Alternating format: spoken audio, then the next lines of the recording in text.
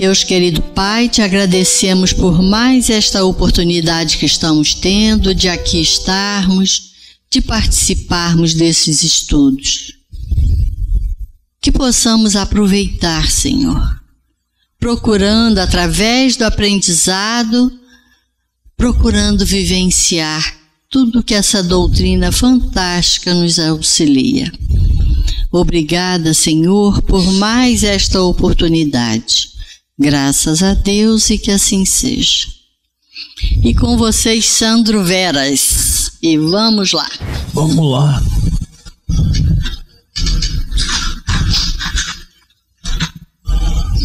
Bom, meus irmãos, boa noite.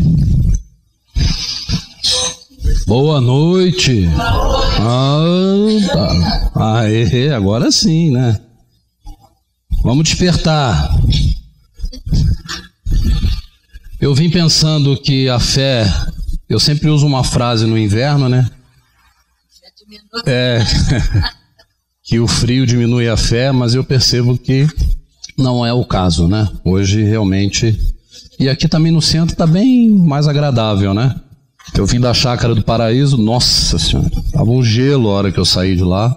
Cheguei aqui ainda falei com minha mãe, falei, vou Está quente o centro da cidade, né? É muito mais, a diferença de temperatura é absurda.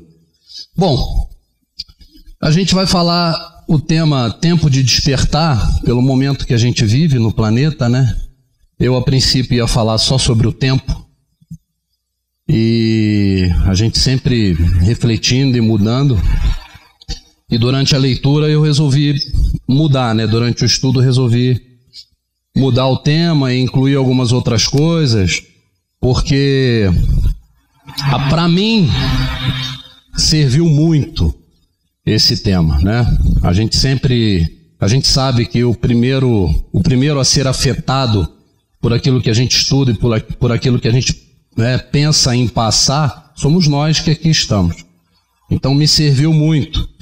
É, a questão do tempo é uma questão muito preocupante porque a gente perde muito tempo na nossa vida com coisas que não valem a pena. E hoje, lendo sobre é, a necessidade de despertar, sobre o tempo, o gasto do tempo excessivo com coisas que a gente não vai utilizar, com coisas que só perturbam a gente. É, eu comecei, eu me peguei refletindo que uma, uma, uma das coisas que me traz uma perda de tempo excessiva é isso aqui, ó. Celular, eu acho que para todo mundo, né? A grande maioria, não para todo mundo, né? Acho que a grande maioria. Existem pessoas que realmente são extremamente disciplinadas e sabem fazer o uso da tecnologia com muita tranquilidade, com muito equilíbrio, né? Eu ainda não o sei. Por quê? Eu cheguei ontem de viagem, então eu preparei isso aqui hoje pela manhã, né? Preparei o estudo, porque quando a gente está trabalhando, viajando, a gente lê, mas é diferente de estudar e separar material para fazer um estudo, né? E eu, em duas horas, eu separei tudo que eu precisava. Mas como é que eu separei isso? Né? Eu não fiz uso do celular.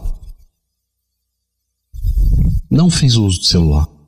Eu simplesmente coloquei o celular de lado, eu acordo muito cedo, eu costumo acordar quatro e meia, cinco horas, já há muito tempo, então eu levantei, me sentei na, na, na cozinha, peguei o computador, comecei a pesquisar e separar. Em duas horas eu tinha tudo separado.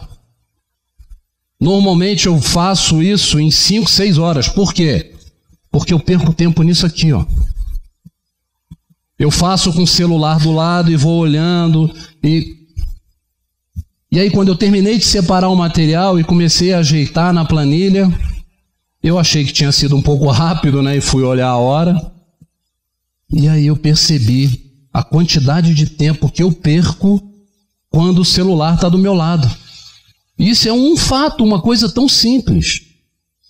No nosso trabalho do dia a dia, nos nossos afazeres, quanto tempo a gente perde?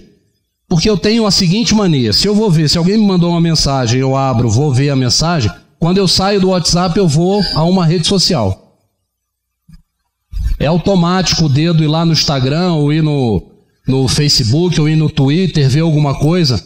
buscar alguma coisa é uma mania nossa.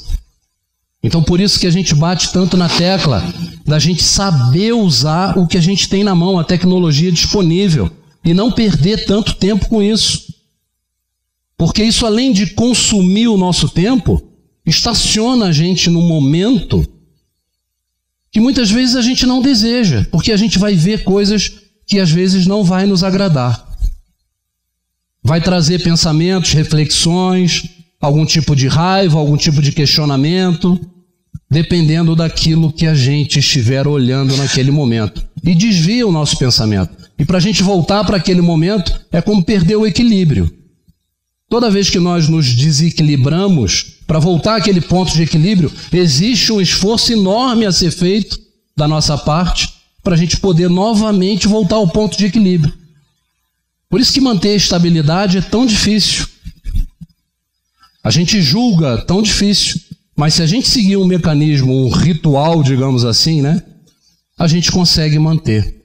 Então, a vida é algo tão, tão valioso e a gente tem todos os dias, e a gente vai ver isso, e é isso que eu quero tentar passar para vocês, a oportunidade que a natureza, que Deus nos dá através das suas leis, para a gente seguir firme nessa caminhada, utilizando da melhor maneira esse tempo. E esse período que a gente atravessa, principalmente esse momento, esse tempo, ele requer de cada um de nós a máxima disciplina. Porque a gente precisa despertar.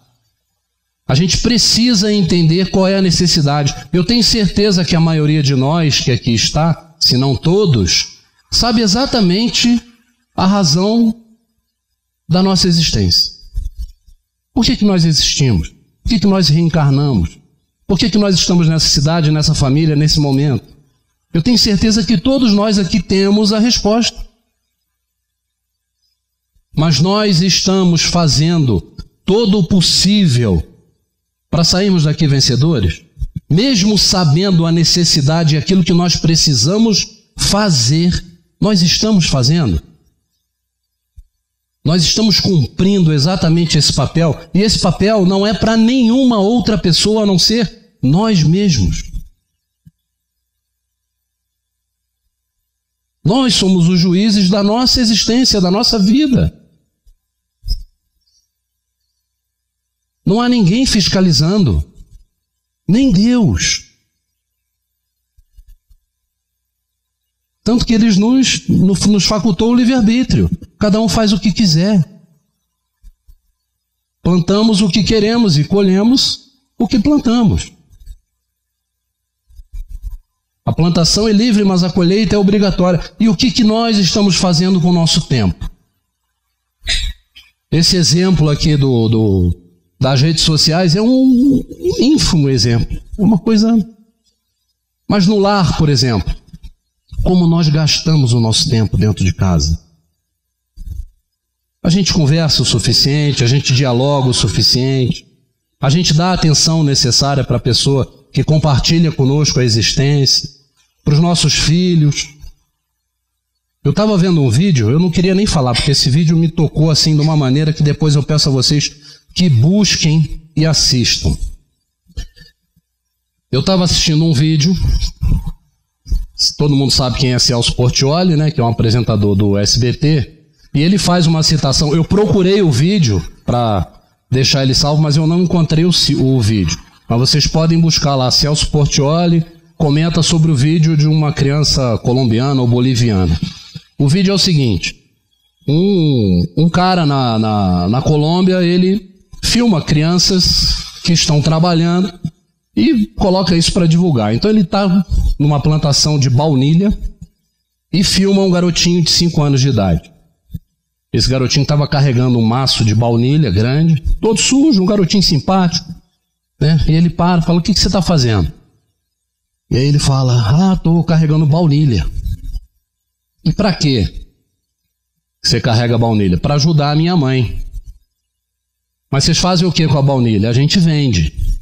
E vende a baunilha para quê? Para comprar leite para minha irmãzinha pequena. Ele falou: Ah, que legal e tal. Bota no chão, deixa eu conversar com você. Aí o garotinho bota no chão, aí o garotinho, ele pergunta: E seu pai? Aí ele fala: Meu pai morreu.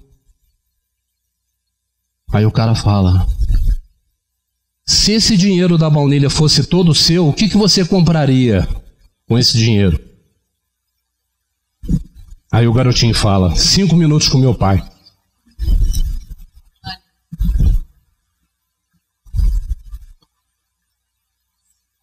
cinco minutos com o meu pai. Aí vejam vocês a importância do tempo. A necessidade que nós temos de usar bem esse tempo, né? Porque uma hora ele vai esgotar. Essa vida, ela vai se esgotar. A gente não tem domínio sobre isso. Esse tempo que nós recebemos para passar esse período, essa encarnação, ele vai se esgotar. Não há como fugir disso. Por isso é tão importante a gente fazer o bom uso e despertar o quanto antes. Para que a gente não tenha o arrependimento. E aí eu sempre me lembro de um outro amigo que diz: o meu maior medo, ele está ali sentado, Roberto, o meu maior medo é chegar na espiritualidade, o cara bater no meu ombro e falar: não se preocupe, você errou, mas vai poder voltar e refazer. Imagina a agonia. E a gente sabendo o que a gente tem que fazer.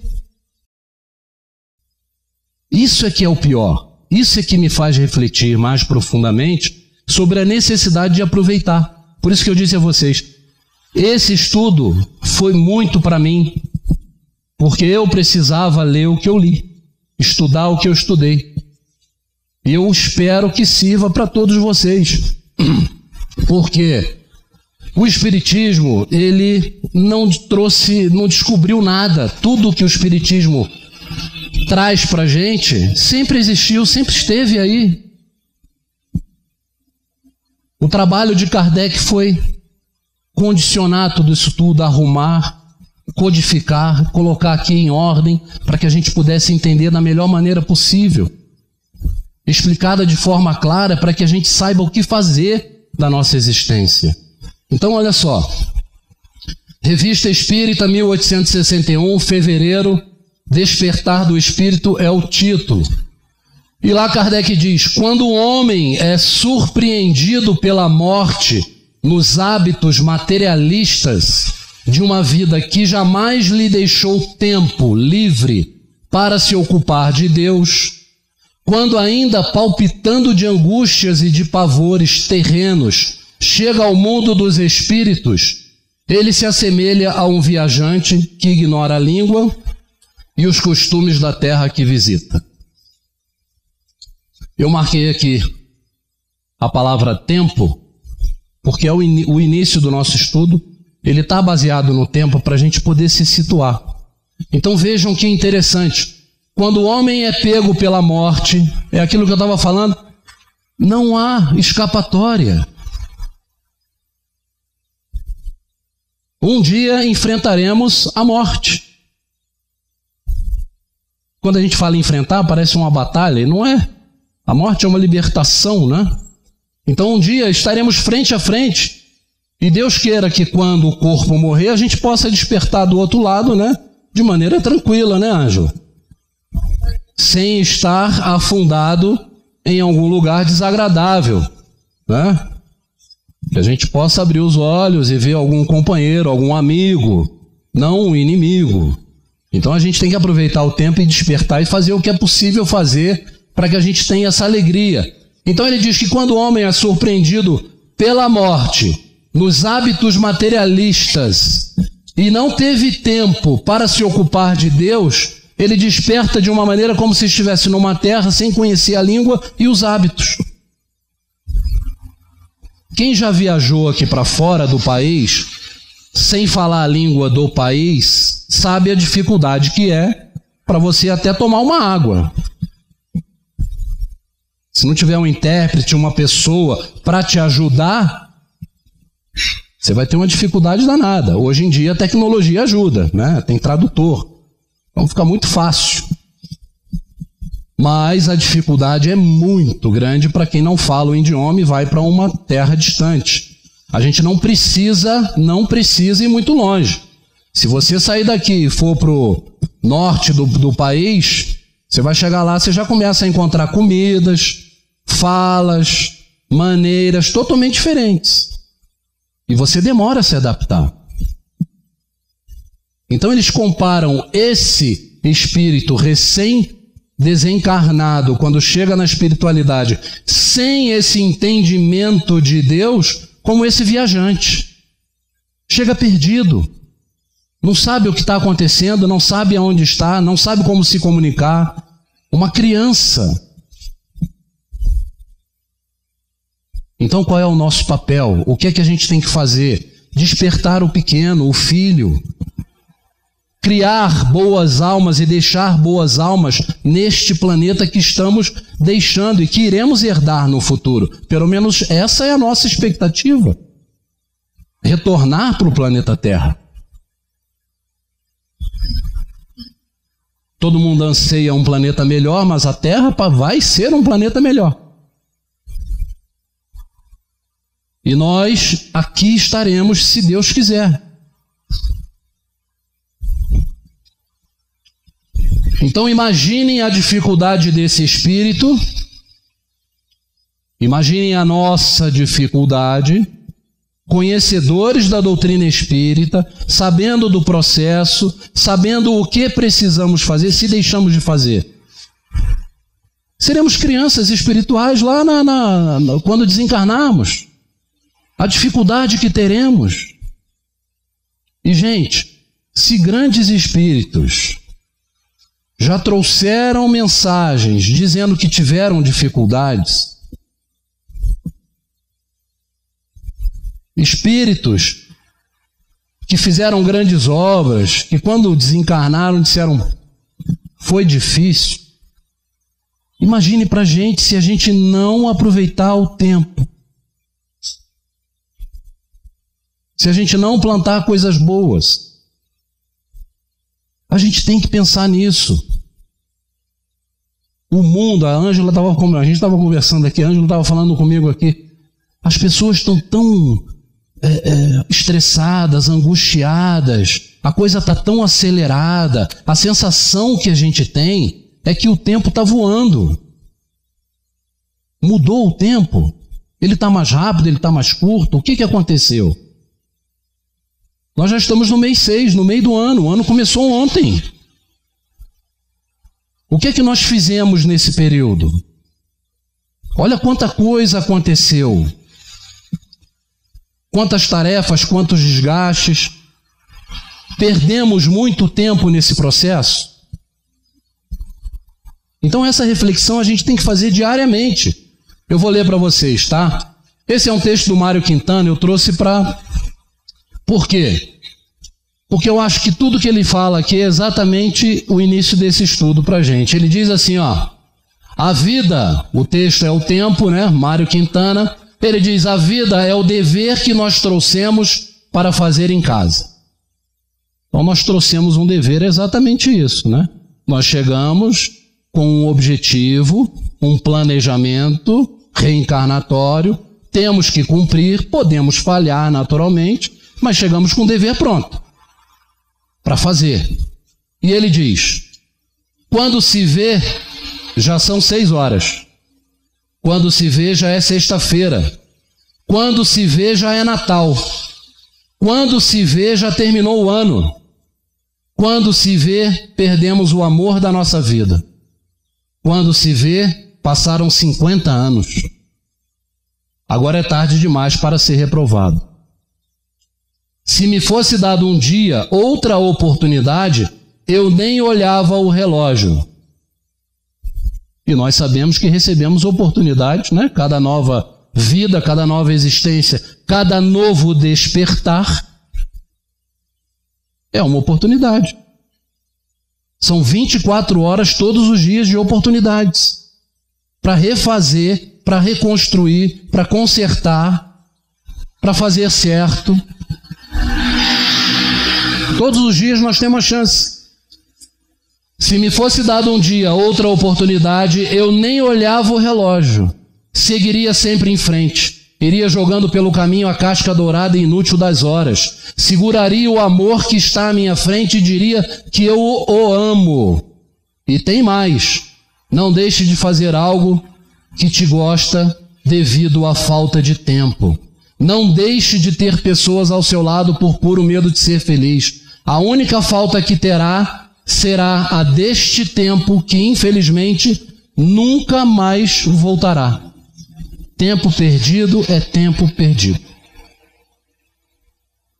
Pensar demasiadamente no futuro vai trazer o que para gente? A gente já falou sobre isso aqui.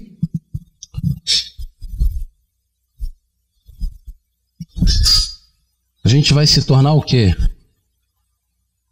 Pensando demais no futuro. A gente gera uma ansiedade absurda. Hoje é o futuro de ontem.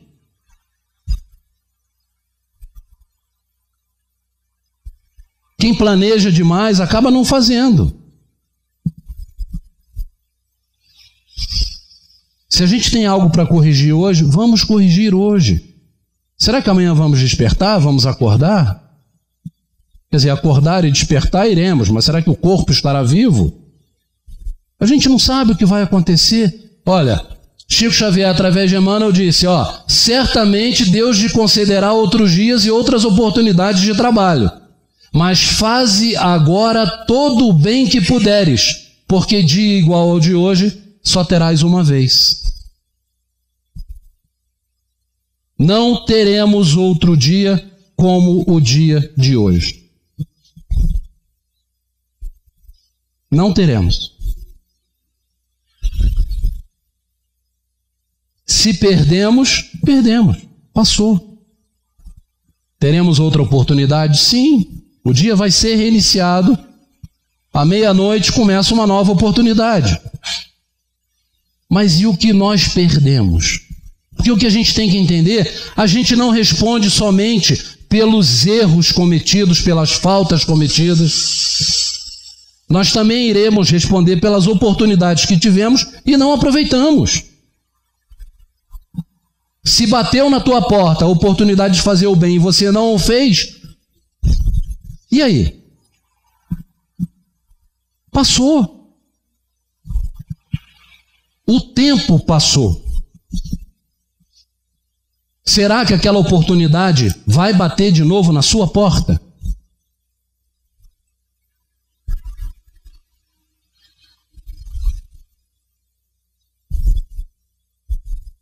Precisamos pensar sobre isso todos os dias.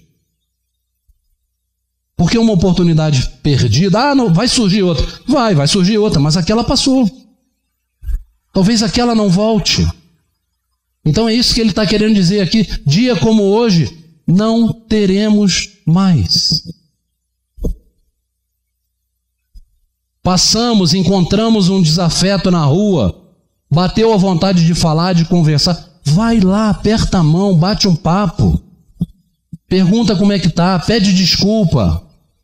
Isso é despertar.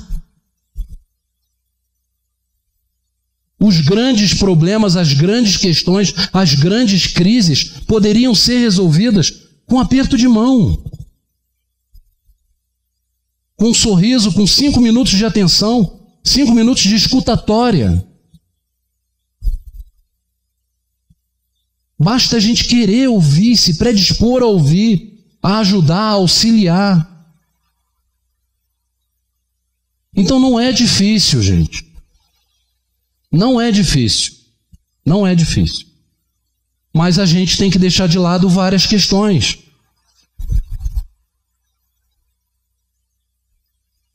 Principalmente a matéria. Aí estou lembrando aqui do, do ditado lá do Dalai Lama, que ele diz que a gente perde tempo demais atrás da riqueza e depois gasta toda a riqueza buscando saúde que a gente perdeu para ficar rico. Então veja a incoerência que a gente se envolve na vida. Ah, não gosto daquele cara, eu vou prejudicar. Eu vou lá, crio um problema para ele. Daqui a pouco aquele problema volta e vem para mim de novo. Não tem como ser diferente. É a lei de causa e efeito. Vai retornar. A gente sempre fala isso. Plantou laranja, vai colher o quê? Melancia no pé de laranja? Não vai, vai nascer laranja. Não tem jeito de nascer outra fruta. Plantou o bem, colhe o bem, plantou o mal, colhe o mal. Ponto final. Essa é a regra. Na mesma proporção, causando a mesma dor, mesmo estrago, a gente vai colher. Pode não ser da mesma forma, mas vai causar o mesmo desconforto que a gente causou no outro. Então a gente tem que pensar sobre isso, porque a nossa passagem por aqui, ela tem uma razão muito profunda.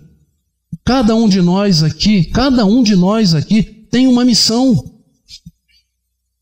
Não são só espíritos evoluidíssimos que nascem com missão. Todos nós temos a nossa missão. Qual é a minha missão? Qual é a missão da Ângela? Qual é a missão do Rogério, do Ângelo? Qual é a sua missão? Você nasceu para quê? Aonde você está hoje? Qual é a sua posição? O que é que você faz dentro da sua empresa? Dentro do seu trabalho? Se você é um varredor de rua, seja o melhor varredor de rua que você puder ser. O melhor. Que a pessoa passe na rua e fala: Nossa Senhora, que lugar limpo. Valorize o teu trabalho, aquilo que você faz. Você tem que proporcionar às pessoas o quê? Bem-estar, amor, aquilo que foi destinado a você, você tem que fazer bem feito. Se você faz mal feito, você está prejudicando a você, unicamente a você. Se você é um motorista de uma empresa e não tem cuidado com o veículo da empresa, um dia aquele veículo vai quebrar lá no meio do morro da favela e você vai ficar lá, quebrado lá no meio do morro da favela, correndo risco. Agora, se você cuida bem, a gente tem que entender que isso, a lei de causa e efeito, a lei de retorno, ela funciona diariamente com cada um de nós aqui. Nos mínimos detalhes. Nos mínimos detalhes. Tudo aquilo que nos chega, nós somos responsáveis. Não há ninguém responsável por aquilo que chega para cada um de nós, a não ser nós. Nós atraímos aquilo que emitimos. Ponto final. Se a gente começar a acreditar e entender, a gente vai acordar de manhã com outro astral. Porque a gente não vai querer receber coisa ruim, a gente vai querer receber coisa boa. Então acordem com pensamentos positivos, tenham atitudes positivas, utilizem o tempo positivamente para fazer coisas boas. Não para desgastar, para criar problema, para criar empecilho. Errando, porque isso está prejudicando a nós. Continuando ainda na revista Espírita, 1866, abril, está lá Instruções dos Espíritos. Para que os homens sejam felizes na terra, é necessário que ela seja povoada somente por espíritos bons encarnados e desencarnados, que desejam, senão, o bem. Como já chegou esse tempo, uma grande migração se realiza nesse momento entre os que a habitam. E aqui a gente já entra no despertar. Por que, que a gente tem que despertar? Por que essa necessidade de utilizar bem o tempo e a gente despertar para essa realidade aqui? Porque é o momento que nós estamos vivendo. Todos nós sentimos aquilo que a Ângela falou aqui. O mundo está diferente. As pessoas estão diferentes. Nós estamos diferentes. Nós percebemos as coisas diferentes. As pessoas estão mais irritadiças, as pessoas estão mais nervosas, as pessoas estão mais intolerantes. As diferenças estão muito gritantes. O mundo está chato. O mundo está chato. Mas por que, que o mundo está chato assim? Porque nós somos responsáveis por isso. Não pensem vocês que nós estamos fora desse mundo. Não, essas pessoas aí estão muito chatas, eu vou viver de outra maneira. Os chatos somos nós também.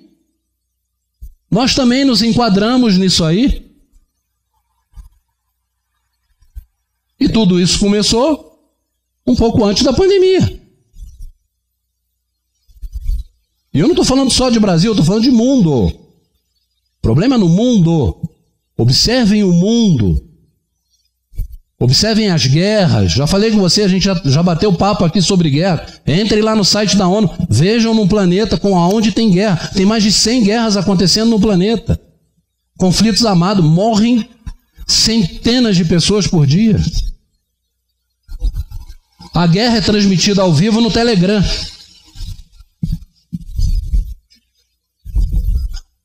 No Telegram tem a guerra ao vivo.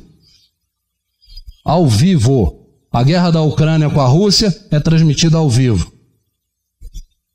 Os drones têm câmeras, filmam, tudo liberado está ali, tá, é postado ali direto.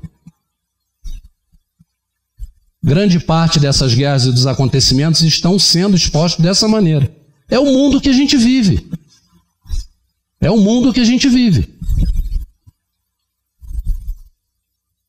Então nós precisamos mudar esse cenário. E como é que a gente faz para mudar esse cenário?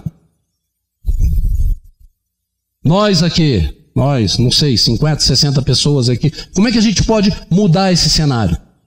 O que é que a gente pode fazer para iniciar essa mudança?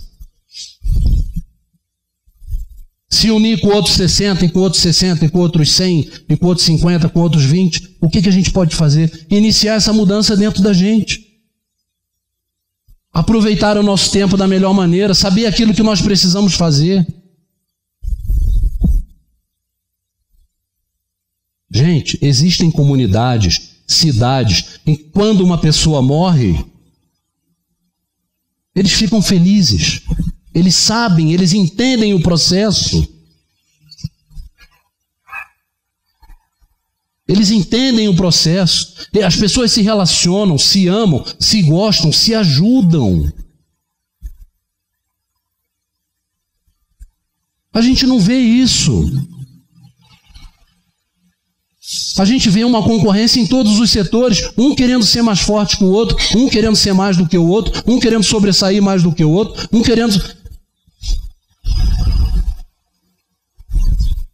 Parecemos inimigos. Vivemos no mesmo plano, na mesma cidade, às vezes no mesmo bairro. Às vezes vizinhos. E não se fala. Não se gostam. Não se ajudam. Se tiver um problema ou pegar fogo na casa do vizinho, fala, também mereceu. O mundo está assim. É o que a gente vê. Então a gente precisa despertar, a gente precisa ver as coisas de maneira diferente. Nós temos essa oportunidade. Isso é que me chamou mais atenção, porque nós temos a oportunidade de pensar diferente. Nós temos acesso a algo que traz para a gente o despertar. A gente não está agarrado naquela ideia de céu e inferno, de eternidade. Ah, morreu, vai para o inferno para sempre, ou então vai para o céu para sempre. A gente já deixou isso de lado, isso já passou, acabou. Não tem. Ponto final. A gente está em outro estágio. A gente já sabe o que tem que fazer, que a gente vai ter outra oportunidade, que aquilo que a gente fizer de errado agora, a gente vai ter que corrigir na próxima existência. Como eles dizem aqui, ó. Seja povoada somente por espíritos bons. Se não formos bons, não estaremos aqui.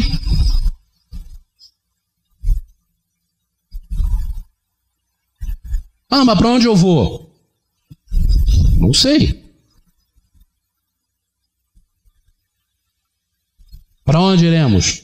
Se não viemos para, se não viermos para a terra. Cada um de vocês aí tem a resposta. Então, essa mudança vai ocorrer. O planeta vai ser habitado por uma maioria de espíritos bons. Ponto final. E já está em andamento uma grande migração. Nós falamos aqui sobre as migrações espirituais. Uma grande migração vai ocorrer, já se realiza. Isso aqui é uma mensagem de 1866, gente. Isso é para chamar a nossa atenção, porque o tempo para a espiritualidade é diferente do tempo nosso aqui. A gente conta minuto, segundo. O cara treina um ano inteiro para bater o recorde e chega lá dois milésimos. Uma unha. A gente conta o tempo assim. A espiritualidade não. É diferente, o processo é diferente, o entendimento é diferente. Ainda na Revista Espírita 1866, o que se distingue os espíritos atrasados é, para começar, a revolta contra Deus. Então, aqueles seres que são contra Deus, não é não acreditar. É diferente você não acreditar ser ateu e você ser contra Deus. Você ser contra Deus, você acredita, mas é contra tudo aquilo né, que Deus traz. Então, para começar, a revolta contra Deus. Depois, a propensão instintiva às paixões degradantes, aos sentimentos do egoísmo, orgulho, ódio, ciúme, cupidez, enfim, o apego a tudo que é material. Presta atenção. Presta atenção. A gente não quer dizer com isso aqui, é igual o lance da dor. Essa semana eu estava falando com a pessoa. Ah, porque vocês espíritas dizem que tem que sofrer para melhorar. Quem falou isso? Quem falou essa bobagem? Nós espíritas, a gente fala que tem que sofrer? Não. Não tem que sofrer. Você pode melhorar sem sofrer. Se você sofre é porque você fez alguma coisa errada. Mas o Espiritismo não diz que você tem que sofrer. Daqui a pouco os espíritas estão andando na rua com aquele, né, se chicoteando, que tem que sofrer. Não, não é isso. O Espiritismo diz que se você sofre, é consequência de uma atitude sua, de um erro teu. Ninguém te impôs esse sofrimento, você se impôs. A gente se impõe o sofrimento. Se eu erro e cometo um erro com a Ângela e amanhã eu sofro por conta desse erro, eu me impus esse erro. Ponto final. Se eu hoje sofro por algo, é porque eu errei, eu cometi erros. Eu não tenho que culpar, ah, tem um espírito obsessor aqui me perturbando, me fazendo. Tem nada. Se tiver um obsessor aqui, eu estou convidando ele a estar aqui do meu lado, porque é sintonia. Sintonia. Se ele está do meu lado agarradinho comigo, é porque eu estou trocando ideia com ele aqui, ó. Meu pensamento está grudadinho, eu estou permitindo que ele esteja comigo. Se eu mudo minha sintonia, se eu me torno uma pessoa mais equilibrada, se eu faço o esforço necessário, se eu aproveito o meu tempo, se eu desperto, esse cara não vai ficar aqui. Não vai ficar aqui.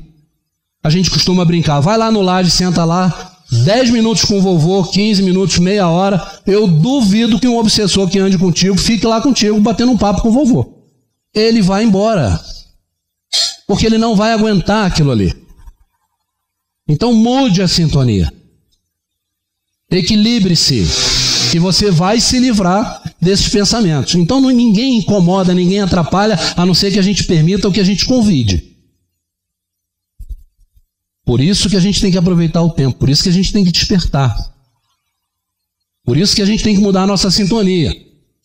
E por isso que eles falam isso aqui, ó. O que é que vai distinguir revolta contra Deus e o apego ao que é material? E o que, que eu ia falar sobre o material? Gente, quando a gente fala esse apego material, não é a gente abrir mão do conforto que a gente busca. Não, não é isso. Ah, então eu não posso é, ter uma casa melhor, eu não posso querer ter uma boa cama, ter um bom carro. Pode tudo, pode tudo. Mas o que é que você faz? Quais são os meios que você utiliza Como é que você gasta o seu tempo para adquirir isso? Você está prejudicando alguém para adquirir isso? Bens materiais? Ou você está recebendo por conta do seu trabalho, da sua tarefa, do seu esforço? É um merecimento seu? Está tudo certo? Está sendo correto? Está sendo honesto, trabalhador? Toca a vida, vai embora. Aproveita, aproveita que você está numa condição boa e ajude outras pessoas. Proporcione a outras pessoas algo que elas não tenham. Eu já falei com vocês aqui quando a gente falou sobre felicidade. Se eu perguntar a cada um de vocês aqui o que é felicidade, cada um vai dizer uma coisa. Ah, a minha felicidade é ir para Paris, é trocar o meu carro, é comprar uma casa. Pergunte ao morador de rua: a minha felicidade é um prato de sopa quente, um cobertor. A felicidade do menino era cinco minutos com o pai.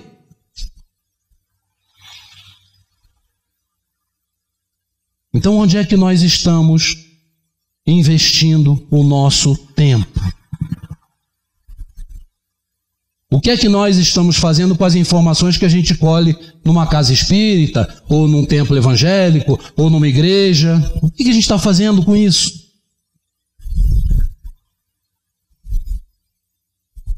Estamos colocando isso em prática? A gente está despertando de alguma maneira? Estamos tratando as pessoas melhores? Estamos construindo pontes? Estamos ajudando pessoas? Ou a gente está destruindo tudo? Ou a gente não está largando nada de útil? A gente tem que pensar sobre isso. A gente vem à casa espírita para né, se movimentar, para isso tem que causar na gente, de alguma maneira, além naturalmente que é uma doutrina que nos conforta, mas ela tem que incomodar a gente, ela tem que tirar a gente do nosso marasmo, daquela né? Daquele dia a dia, não, tá tudo muito bom, eu tô bem, tá tudo legal, eu vou lá, tomo um passo, passo a semana de boa. E o que, que você faz com isso? Se tá tudo bem, você não tá fazendo bem para ninguém? Tá lá parado vendo televisão o dia inteiro, assistindo séries, zap zap, YouTube, TikTok. Tá fazendo o quê? Para fazer o bem, para fazer caridade, não precisa de grana, não precisa de dinheiro. Tá ali o Reginaldo ali, ó. Faz a campanha do quilo, pega a van do laje, leva as bolsas pro pessoal. Todo domingo tá ali, ó, de óculos ali, ó. Sem cabelo.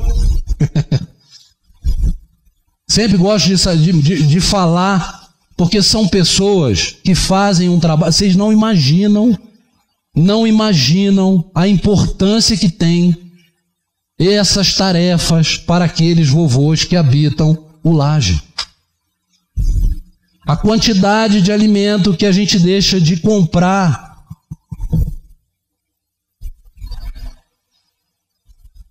Então é uma tarefa que não tem.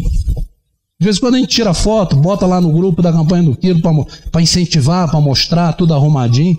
Tá aqui, ó. Nossas trabalhadoras que arrumam o, né, o, o nosso estoque lá. Gente, tem que se fazer algo por alguém. Você não pode ir ao Laje, vá ao Pestalozzi, vá à Pai. Tem muito lugar em Friburgo para você ajudar. Vá na casa do teu vizinho. Às vezes tua vizinha lá está sozinha e precisa de ajuda. Então a gente está aqui para isso. A gente tem o que fazer. A gente tem que movimentar. Não adianta a gente ficar com a informação retida. Se a gente veio aqui e isso aqui faz bem para a gente, passe para o outro. Divulgue. Não adianta a gente ficar guardando só para a gente. Isso é egoísmo. Ele aqui fala, ó, egoísmo. Cadê o egoísmo? Ó, sentimento de egoísmo. E esse apego material aqui é o apego excessivo, é o amor excessivo. É, é aquele cara que vai morrer, acha que vai botar tudo na gaveta, vai meter uma gaveta no caixão ali e vai levar junto. Não vai.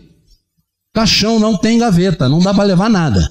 Só conhecimento. o resto vai ficar. Entendeu? E se puderem, dividam toda a herança antes de morrer. Conselho bom. né, mãe? Estou dando um conselho bom para vocês. Dividam herança antes de morrer, tá? Para não ter problema. Porque todo mundo se ama até ter dinheiro para dividir, né? Então, dividam antes, para não ter problema. Na questão 919, Kardec pergunta: qual é o meio prático mais eficaz para se melhorar nessa vida e resistir ao arrastamento do mal? Então, já que a gente tem que aproveitar o tempo, já que a gente tem que despertar, como é que eu faço isso rápido? Me mostra aí. Um sábio da antiguidade vos disse: Conhece-te a ti mesmo. Quem foi que falou isso? Vocês sabem ou não? Hã? Sócrates, isso aí. Conhece-te a ti mesmo. É a maneira mais eficaz. Conhecendo nossas fraquezas, conhecendo aquilo que mais nos afeta, que mais nos traz insegurança. Conhecendo o nosso íntimo, a gente consegue mudar. Nessa questão 919A, eu vou ler para vocês um pedaço, tá? Kardec faz um comentário. Olha o que Kardec fala a respeito disso. Muitas faltas que cometemos nos passam despercebidas. Claro que passa. A gente comete erros diários. Só que a pessoa com a qual nós cometemos o erro, ela não se esquece disso. Ela não se esquece disso. Se com efeito, seguindo os conselhos de Santo Agostinho, interrogássemos mais frequentemente a nossa consciência, veríamos quantas vezes falimos sem disso nos apercebemos, por não investigarmos a natureza e o móvel dos nossos atos. Porque Santo Agostinho diz: todo dia ao deitar, faça uma reflexão do seu dia, pense em tudo que você fez. Busque analisar se foi bom, se foi ruim, se você feriu alguém, se o que você fez foi válido. Se a gente fizer essa análise, a gente no outro dia vai corrigir alguma coisa. Que certamente nós erramos em algum ponto. E às vezes a gente erra não é por querer errar. A gente erra porque é a nossa natureza errar. Somos falíveis. Podemos errar. Só que quando a gente percebe o erro, a gente tem que buscar corrigir. Mas o que a gente faz é a não correção disso. Normalmente a gente ainda agrava a situação. Porque se algo que a gente pode corrigir a gente deixa passar, aquele outro ser pode aumentar a sua raiva, a sua ira, pode tentar algo contra nós. É assim que funciona, é por isso que a gente vê tantos movimentos de guerra, de lutas, de crises, de problemas. E aí ele segue dizendo: a forma interrogativa tem alguma coisa de mais precioso do que uma máxima em que, em geral, não aplicamos a nós mesmos. Ela exige respostas categóricas por um sim ou não, que não deixam lugar a alternativas. Então, se a gente faz esse questionamento, bom, eu errei com alguém, errei. Não tem conversa fiada. Errei e pronto. Não, eu errei porque a Ângela falou comigo que se eu não tem essa conversa. É o que eles dizem. É sim ou não. Errei ou não errei? Errei. Corrijo. Ponto final. É só não deixar passar. Respostas que são outros tantos argumentos pessoais, pela soma dos quais podemos computar a soma do bem e do mal que existe em nós. Então a gente precisa fazer a correção. Se a gente errou, vamos corrigir, porque temos tempo. A gente tem tempo. Se a gente acordar amanhã de manhã, a gente tem tempo, não tem? Se a gente morrer, a gente vai ter tempo na espiritualidade. Mas aí já não dá para corrigir enquanto aqui estamos. E aí, na questão 919A, olha o que Santo Agostinho faz. Só pergunta Santo Agostinho faz. Não trabalhamos todos os dias para juntar o que vos dê repouso na velhice? A gente não trabalha pensando nisso? Na aposentadoria, não, vou me aposentar e aí vou botar o pezinho pro alto, vou ficar lá, beirada da praia, feliz da vida. Né, Rogério? Tranquilão, né? O Rogério falou uma vez que a vida dele estava muito calma, que ele ia arrumar um problema, né? Não, está muito calmo, vou arrumar um problema para minha vida. Esse repouso não é o objeto de todos os vossos desejos, o alvo que vos permite sofrer as fadigas e as privações passageiras. A gente não se sacrifica pensando nisso. Não. Hoje eu vou plantar porque vou me aposentar melhor, vou fazer isso, vou fazer aquilo. A gente planeja isso. E aí, Santo Agostinho, pois bem, o que é esse repouso de alguns dias perturbado pelas enfermidades do corpo ao lado daquilo que aguarda o homem de bem?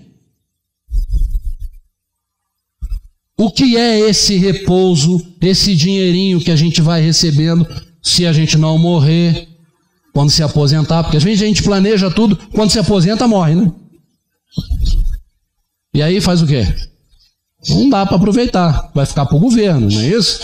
Então, ó, ele pergunta o que é esse repouso de alguns dias perturbado pelas enfermidades, que a gente vai ter, né? Vamos ter dificuldades, vamos precisar de auxílio, de ajuda, faz parte. Alguns têm uma velhice muito mais confortável, outras têm dificuldades. É normal isso aí, tá? Ao lado daquilo que aguarda o homem de bem. Isso não vale a pena. Não, isso, isto não vale a pena de alguns esforços, ou seja, fazer o esforço de plantar o bem, de buscar esse despertamento, de aproveitar melhor esse tempo para a verdadeira vida. Que verdadeira vida é essa? É depois da vida, é a morte.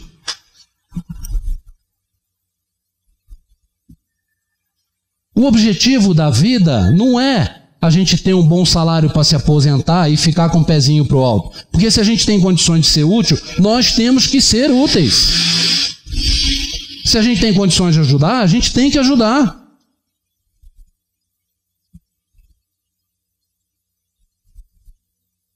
Tem gente que se aposenta e quando se aposenta e resolve não fazer nada, eu estou dizendo porque eu conheço, tá? Vem vários problemas. Vários problemas. Várias crises, vários problemas psicológicos, por quê? Porque estancou, porque parou tudo, estava acostumado a uma sequência de vida, a trabalho, e de repente aposentei. Pá, aposentei, agora não faço mais nada. Pá.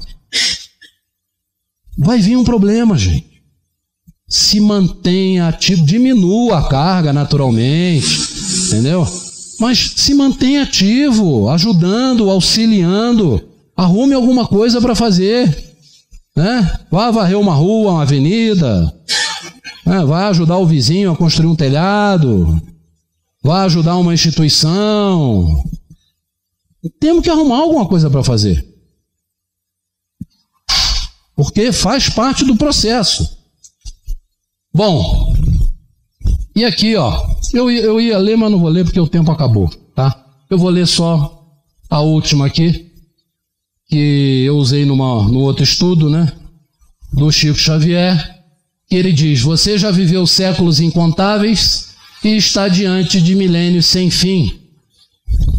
Sem homenagem a Magui, que ela adora essa frase, né? É um incentivo, porque a gente vai ter tempo, à vontade, para corrigir tudo aquilo que a gente tem que corrigir. Não se preocupe. Mas o grande problema é aonde estaremos investindo esse tempo. Em que planeta? Em que situação? Então, o futuro é hoje. Planejem, mas estejam cientes de que é necessário a gente fazer a mudança agora. Aquilo que a gente deseja para o futuro tem que ser mudado dentro de cada um de nós. Não adianta a gente ficar projetando no próximo porque não funciona. O próximo é o próximo. Ninguém muda ninguém. Quem é casado aqui sabe disso. Né? Ninguém muda ninguém. Ninguém muda ninguém. Pode tentar se adaptar, vai fazer uma mudança, uma adaptação, uma mudança muito difícil. Muito difícil. A gente tem que se adaptar. Então vamos mudar o nosso interior, o nosso íntimo. Beleza? Fiquem com Deus aí e até a próxima.